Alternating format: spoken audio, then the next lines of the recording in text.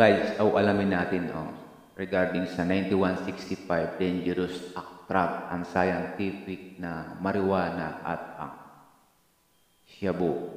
So, alin ba ang mabigat sa dalawa? So, iyon ang sasagutin natin. Ano ba ang mabigat na kaso? Marijuana ba o shabu? So, ngayon guys, so kung first time ka sa aking channel, ah ako, ako nga pala si Pulis ako at baka naman baka gusto mong mag-subscribe. At ano ba ang mapapala mo kapag nag-subscribe ka sa ating channel? So, isa po tayo criminalistic at anytime, anywhere, kailangan mo ang servisyo natin ay free and mag-connect lamang sa ating ah, messenger or Facebook para sa agarang assistant. Crime assistant. Okay? So, ito nga guys, ah, aalamin natin kung ano ba talaga ang mabis mabigat at ang scientific name ng dalawang itong pinagbabawal na drugs. So, 90, under 9165. So, ang madalas na ikaso sa mga respondent, ang madalas na mahuli ito ng mga pulis ay itong tatlong ito, 5, 11, 12. Okay? Kapag nag-package yan, tatlong iyan, ay, so, may kalalagyan kayo pa.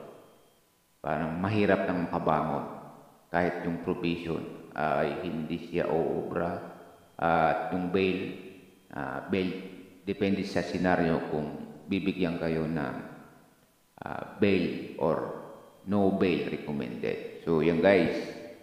So, bago yan, ah, alamin muna natin ang dalawang scientific ah, pangalan ng dalawang to, yung shabu at marijuana. So, ang scientific names na marijuana ay sabing cannabis sativa L. So, yun po yung scientific na marijuana. So, alam naman natin na ang marijuana ay tumutubo lang kahit saan sa atin. So, ang pangalawang scientific name na shabu ay methamphetamine hydrochloride. So, parehas yung, yan po yung scientific nila. Tuloy yan yung official na kinakaso kapag naka, yan yung nakalagay sa information. O kapag kayo, eh kapag ang respondent ay nahulihan ng drugs.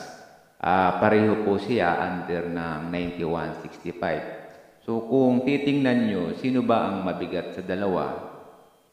So, base sa positioning ng dalawang yan, sa section 11, so may, may ano siya, may gramo.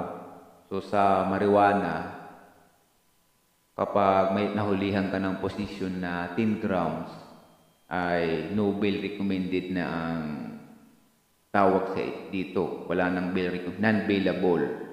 Sa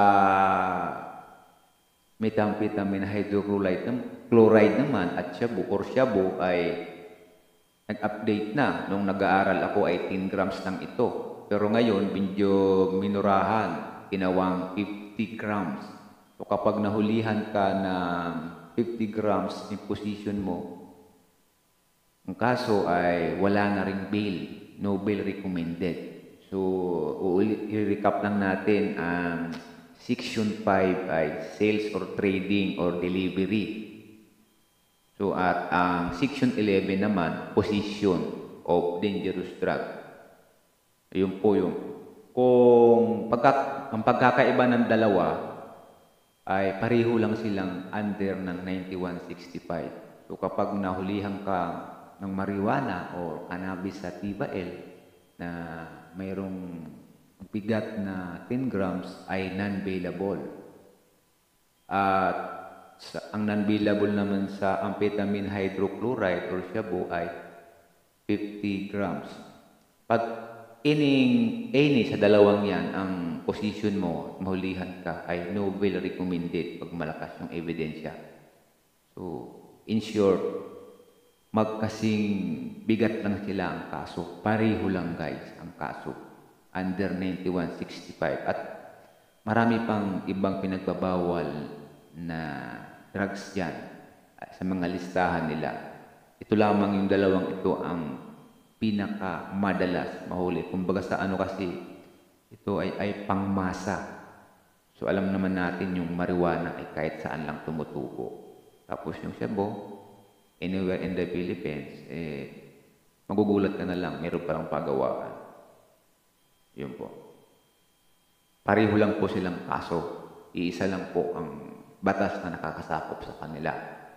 Republic Act 9165 o 2002. Okay? So, ang mag-aanggaan lang dito na madalas kinakaso ng pulis kapag ikaw ay nahulihan yung section 12, position of equipment. So, or para parnalyas lang. So, ma- magaan lang ang kaso nito. So, almost ang maximum penalty ay 4 years lang. Minimum o 4 months. Ayun. So, pag ganito ang kaso mo, yung penalty, ay pasok ka sa probation. So, pwede mo siyang aminin pag gusto mong mapadali yung kaso para if ever na wala kang pambail, matapos na at makalabas na, mabigyan ka pa ng second chance. Yan po yung magkaiba ng tatlo. Yun po yung 5, 11, 12. Ito lang po talaga ang madalas kaso. Yung Section 26, ang other section pa, yung mga maintaining ng den, ah, laboratories. Ang dami pong section ng 9165. So, himay-himayin nyo na lang po yan kung gusto nyo masipat talaga. Hindi po natin mabi, ma, didiscuss lahat dito yan. Inuuna lang po natin yung madalas ikaso. So, pag mga ganito pong ah, kaso ay itong 5-11 ay mabigat po ito. Depende sa gramo. Siguro pag nagbilo ka sa maximum na bigat ay pwede namang bailable. For example, itong marijuana ay nahulihan ka ng ah, tinatawag na wala sa minimum, ay wala sa maximum na bigat, iba 10 grams. So, below 10 grams siguro, pwede kang bigyan ng bail recommended. At as well itong tinatawag nating shabu or amphetamine, methamphetamine hydrochloride. Ah, pag nag-below ah, 50 grams, so in consideration of the prosecutor or ng complainant, pwede kang bigyan ng bail. Pero depende yun sa kanila kung pagbibigyan ka ng bail. At kung malaki ang bail, uh, mag-file kayo na reduce to bail. Okay? Yan po lang yung uh, tatalaka, focus natin sa tatlong section na to kasi ito po yung common na common na kaso ng sa atin na kinakaso ng pulis. Ang dami pong nakakulong, ang daming pwedeng ikulong dito sa Dangerous Drug Act sa tatlong to. Napakarami to. Hindi naman natin itakailano. So, if ever talaga na sinamang palad or nabiktima yung mga ah, pwedeng anak nyo naligaw ng landas na hindi nyo alam at na silo dito ay hanggat maaari ay sa field pa lang maano nyo na maayos nyo na kasi pag documented yan at malakas yung position at nakarating sa court kapag umabot sa maximum na amount ay ko, delikado.